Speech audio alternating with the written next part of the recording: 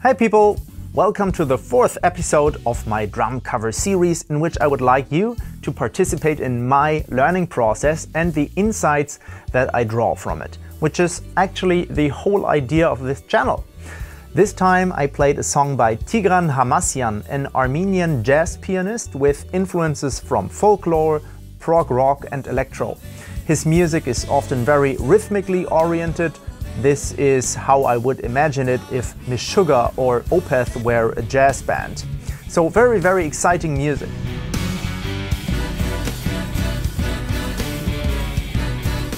The song comes from the album Mockroot and there the Swiss Arthur Hnatek plays the drums, who is also a cool solo musician, includes a lot of electronics and who you should definitely check out.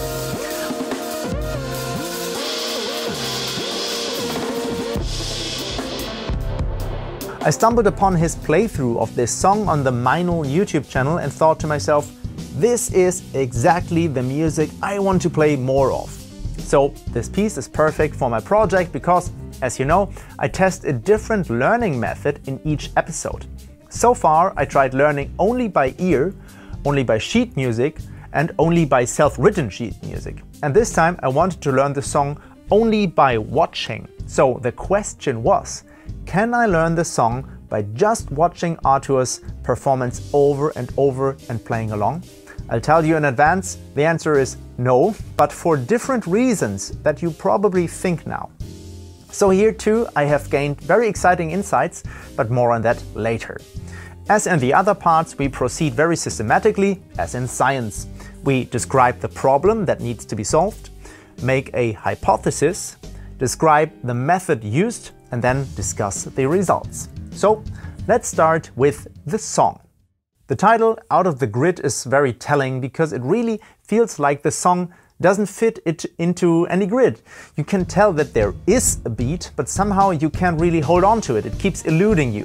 This is because the song keeps changing the time signature. For example, it very often alternates between 15 sixteenths and 17 sixteenths. You can add that up to two 4-4 measures, but that's not how the song is played and felt. Rather, the song is based more on the respective phrases. So it's very rhythmic, but not very beat-oriented, with a lot of changes and a lot of unison parts that have to be played very precisely. So a very demanding song that you have to get involved with first. I had now decided to learn the song visually because I always considered myself a very strong visual learner, could always draw a lot from acutely watching other drummers and even managed to really empathize with them. There is also the so-called ideomotor effect according to which you can actually learn exactly the same movements by actively watching and empathizing, almost as if you actually performed them yourself and you can even transfer emotions and intentions through it. So I wanted to empathize with, with Arthur's role and understand the song better as a result. Now let's look at the numbers so that we can compare it with the other episodes. Due to the rhythm and sometimes also technically demanding passages, I would rate the difficulty at 7 out of 10. The song is almost 5 minutes long and it took me a total of 37 hours of active work, watching, analyzing, practicing to learn it. I think that's pretty good for a song at this level because I started from scratch so I didn't even know the song at all when I started and the time during the recording until the version which I was really happy with is also included in this duration. The ratio is 1 to 482, so 482 times the length of the song until the final recording. So the ratio is worse than with my last drum cover by Ihsahn, but better than with my most difficult drum cover by The Hirsch Effekt. I counted about 1474 strokes in total, that's about 5 per second, and that meant I spent an average of 1.5 minutes per note. My learning process can be roughly divided into five phases. The first was getting to know the song, watching it a few times, then just playing along and adjusting the setup, choosing the cymbals, arranging and tuning the set for the song. In the next phase, I started practicing systematically. Anyone who has seen the previous parts of this series will know that I gained the very, very helpful realization that it makes sense to start at the end and work your way up to the beginning of the song so that you play the end more often than the beginning because it then becomes easier and easier. There's always something familiar in front of you, and uh, you can thus better prevent mistakes and frustration. That's exactly what I did here, and it worked very well, but I quickly became skeptical as to whether my chosen method could bring me to really internalize the song at all. So very soon I was using transcriptions of the song as a support. That also helped me a lot. Nonetheless, I felt a bit lost and kept asking myself, how should I ever be able to not just replay it, but really feel it, play it by heart and live up to the music? But that's pretty typical, you probably know that feeling too. So I put that aside and just continued to learn systematically in many small steps because I know from experience this will get me to that point where I really understand the song eventually. What also helped me was, of course, watching the video that I used as a reference, but also a live recording over and over again and just let it act on me in order to internalize the song and the musical ideas in it. Because when you see Tigran, the songwriter, how he plays with devotion and leads the band, then a little bit of his understanding is transferred to me, I felt. The whole performance is suddenly charged with more meaning, from which I get something and which I can then bring to my playing. But then I had to interrupt the process because there was a very intense video shoot and several workshops for which I naturally wanted to prepare well. After that I practiced much more intensely, very specifically, always alternating between watching the performance and practicing with the transcriptions section by section, very slowly, very intensively for several hours every day and build upon that the next day. It was an incredibly good feeling when you practice a lot every day, sleep well, and really feel how you get better every day. So, in the future, I want to make sure that I can practice this way for several weeks in a row and that no major project interrupt this. So, in this phase, I made the greatest progress in a very short time. The final touches came in the fourth phase. In a few places there was still a lack of precision, a few sections I had not yet fully understood, but I knew from experience that it was more important to meet the deadline because otherwise you just get stuck on details that hardly anyone notices. Still, when I was shooting the video, I was dissatisfied that I didn't play the song naturally and relaxed, but just tried to imitate the drumming and in some places just didn't grasp the musical idea. So after the video shoot in the fifth phase, I invested another six hours over several days to really understand the missing parts, to improve inaccuracies that I had got used to and to do justice to the song.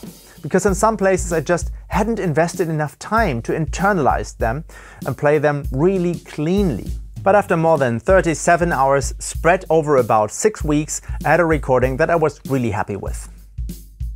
So the most important insight for me was that in the future I shouldn't learn songs too drumistically. That means not just learning the drums by heart, but understanding the song first depending on what the starting point is, be it the, the guitar riff, the bass line, or a general motif that is played by everyone, you should first understand the subject of a song, the theme. What are we actually talking about?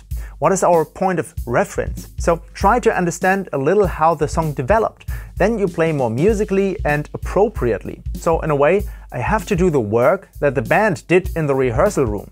Then I really play the piece and not just the drums. In this case, I only got a feel for the song at the very end. Next time I will start with it, and if I know, for example, that the guitarist wrote the piece, I first try to understand the guitar riffs before I practice the drums to understand why the drummer is playing one way or another. And so, hopefully, I will play much more informed. Speaking of more informed, that was another important takeaway when trying to learn the song just by watching. I felt that the visual impression distracted me a little from listening, but in a good way. I didn't try to analyze everything convulsively, I just let it sink in. Since two sensory channels, seeing and hearing, were active at the same time, I perceived watching as a better informed listening. In order to learn only by watching, I would have to turn off the sound, but then I would really only have learned movements and not played music. The combination made me listen less filtered, and that was really good for me. It somehow could sink in deeper. Nevertheless, I then used the sheet music because I noticed that I wouldn't have reached my goal only by watching and I would have had to analyze note by note anyway. Why not take advantage of the fact that someone has done this before? And the third big realization was again something very surprising. Because of the deadline and my dissatisfaction, I was mentally too tense at some point, and that also made me play too tense. In the middle of the song, there is a part that has almost metal breakdown quality with quite fast groups of three and four strokes on the bass drum. At some point, I couldn't play it anymore because I was too tense. One reason for this was that I picked up the pace too early here. I should have practiced the part slowly and cleanly for a much longer time, of course already with the foot technique, which I also play when it is fast. In the original video you can see that his knee only moves once for three hits, so Arthur also uses the Moeller technique with his feet. I hadn't internalized this sequence of movements well enough at a slow speed, so it got very messy at the fast tempo. The second reason was that the music on the headphones was just too loud, like someone who has hearing protection on and speaks too loudly and becomes hoarse later. I involuntarily played with too much force to hear myself again and was then too tense. The idea was that I should hear the song well, let it guide me and rely on what I had learned. But that was a mistake because I could trust what I had learned and that ultimately includes the song structure. So I didn't have to hear everything to play the song well, otherwise I would have just played along. So I turned down the music uh, a lot in my in-ears, could hear me better and therefore played more relaxed, less, less strenuous, also less loud, which is in this case also more appropriate for the song. And since I heard more of my playing, I felt more in control and really played the song. So, like in the other parts, I come to the conclusion that this method would certainly have worked well with a simpler song, but with such a difficult piece, you need a good mix of methods. Active watching, especially with live recordings where you can observe the interaction, is a very good addition to internalize the musical idea better and could help to grasp a simple, short song as a whole, but it's not enough to learn such a complex piece. So the numbers in the statistics say even less about the method this time because I had to adjust it. I also learned that I have to be a little more patient and practice slowly before I pick up the tempo to be really sure that I am playing everything correctly. That also ensures that I automate it and play it better by heart so that more mental capacity is free for other things because the cognitive load was still far too high here I still had to keep way too much in mind to be able to play really musically. That also led to the fact that I was too tense. So invest even more time, repeat slowly, more often, even if I already have the feeling that I can play it well. Because in order to play musically and in a relaxed way, it has to be absolutely reliable. Last but not least, we always need a bit of headroom to buffer when the excitement comes along, when the cameras are rolling, or when we have slept badly, or when we need to do 12 or 15 takes. And if we are always at the limit and immediately increase the tempo, even if we are still a little insecure, then we also practice this insecurity. So you should practice one thing until you feel really comfortable with it, and then take this feeling with you to the higher tempo. And I will plan better in the future and only start a new cover when I'm sure I don't have any plans in the coming weeks that will interrupt my learning process for more than a day. You can, if you want to, continue to follow in this series whether and how I succeed. Because the next cover is actually already in the works. The drummer on this recording is my biggest influence when it comes to creative and musical rock drumming. Write your tip about who it is in the comments. In order not to miss the video, be sure to subscribe if you haven't already. If you liked it, please give the video a thumbs up so that YouTube suggest it, uh, would suggest it to more people. And if you also want to support me and help so that this channel can continue to exist, then please check the description under this video. There you will find a link to my Patreon where you can support me with very small donations and get something back from me in return. Thank you very much for watching. Hope to see you in the next video as always every Thursday at 6 p.m. CET. Until then, take care and goodbye.